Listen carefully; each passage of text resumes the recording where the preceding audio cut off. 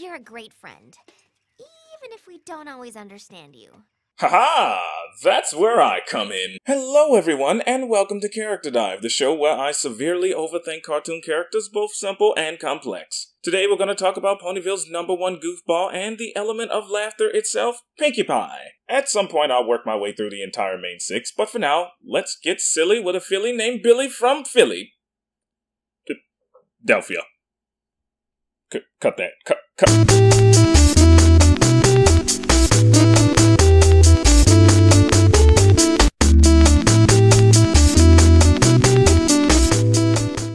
Pie is the embodiment of the Looney Tunes style of zany toon humor, but eh, minus the violence. Duck season, fire! Pinkie Pie is probably the most expressive out of the My Little Pony cast because of this. She can do things like breaking the fourth wall, she can pop up at random from anywhere, including the tops and sides of your screen, float temporarily despite not being able to fly, keep up with the likes of Rainbow Dash, one of the fastest ponies in existence, well, I say one of the fastest ponies because hardcore pony fans have debated over her speed for quite some time, and I don't want the purists raging at me in the comments over it. I mean, I'm just trying to have fun here, but whatever. Anytime Pinkie Pie pulls off a feat that's impossible, or she completely outperforms a pony in their area of expertise, it's because of her zaniness. Toon force, toon factor, toon mimicry, toon physics, whatever you want to call it, that's what Pinkie Pie has, and few are equipped to deal with it. Trying to, uh, avoid a Deadpool comparisons since, well, mm, you know, you get the idea. Pinkie Pie is an extremely happy, bouncy, and energetic pony, and you just can't help getting excited when you see her. Being silly and wacky is a core part of Pinkie's personality. It's who she is, it's why she's the life of the party, and the element of laughter. Pinkie loves to laugh, and more than that, she loves to make others laugh. In some cases, she's even lifted the spirits of the entire town of Ponyville all at once. In a sense, she's depression's ultimate enemy because she will work her pink poofy tail off to put a smile on the face of anyone that's having a bad day. Sometimes this can be a bad thing, though. Her dedication to helping people has on occasion annoyed others greatly. Cranky Doodle Donkey is a good example of this. Pinkie wanted to be his friend so bad that she drove this poor old donkey nearly insane between constantly bugging him despite him wanting to be left alone, ruining his cherished scrapbook, albeit an accident, uh, all this just to get a smile out of him. Luckily, it worked out in the end, but the point to take away from this here is that Pinkie Pie can be a bit obsessive at times. An early example being when she chased Rainbow Dash across Ponyville at high speeds just because she thought she was avoiding her, and before that, she was tailing the rest of her friends like criminals for the same reason. Pinkie Pie is like this mostly because friendship is the most important thing to her. She values her friends so deeply that the thought of losing them is too much for her to bear. Taking it a step further, she went into a sort of depression when she thought her friends didn't like her anymore. Pinkie Pie can be a little insecure and paranoid at times. Most apparent in the same episode, Party of One. Also, while depressed, Pinkie Pie's zany nature shifts to a sort of psychopathic one, where she began talking to herself through inanimate objects that she used to replace her friends. All this over one big assumption. It's pretty wild. I mean, this is the image that inspired the Pinkamena creepypasta after all. At the end of the day, just like how Pinkie Pie has extreme highs, she also has extreme lows, possibly the lowest lows of the Mane six. It's because she's the element of laughter that her sadness is so apparent. The brighter the picture, the darker the negative. You get the idea. Points to the first person that can tell me where I got that quote from. Hint, it's a DC cartoon. Now, before you start to think that I'm aiming to pull a game theory and paint this cute and lovable character as Satan's spawn, relax. That's not where this is going. Her flaws are a good thing because it shows that despite being one of the most positive characters in the show, she isn't completely unfazable, just like how Fluttershy isn't completely spineless. Think of your closest and most supportive friend, the one that always picks you up when you're down.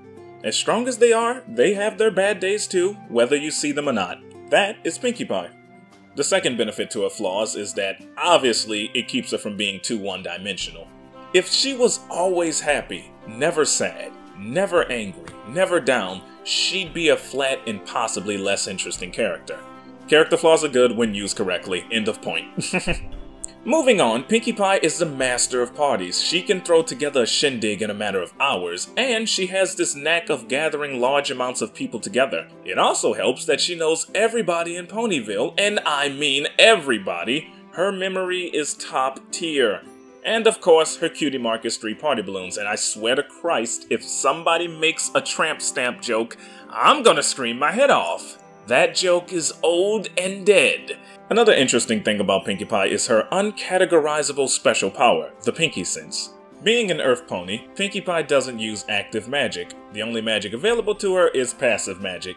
Yes, both of those are actual confirmed concepts in the MLP universe that really deserve their own video, so I won't go into depth in it right now. Either way, her Pinkie Sense isn't passive or active magic. It's just something that Pinkie Pie sort of has.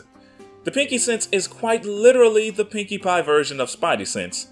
Look, I know that's obvious, but stick with me on this. This sense of hers, typically displayed by one or all of Pinkie Pie's body parts spazzing out wildly in different ways, gives her warnings about danger seconds before it happens. Anything from falling objects to big disasters.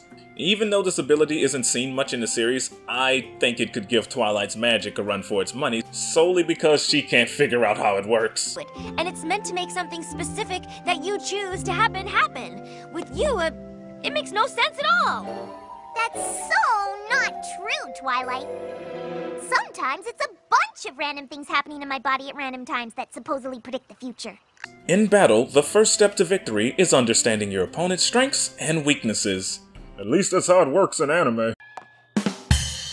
Now, one downside to being Pinkie Pie is that, much like being a comedian or the funny guy, people tend to not take you seriously, and this is something that Pinkie Pie deals with quite a bit. To be completely fair, there are many times where Pinkie Pie completely misses the plot of the situation. All right, ladies, let's show them what friendship can do. Wait, wait, wait!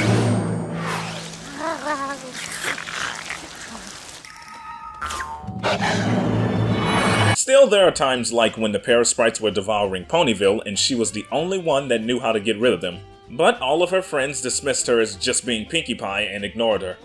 Granted, this is more of a communication error on both sides, but still, Pinkie Pie has good things to contribute, but due to her silly nature and randomness, she's often put in the boy who cried wolf camp, or pony who cried wolf, I guess.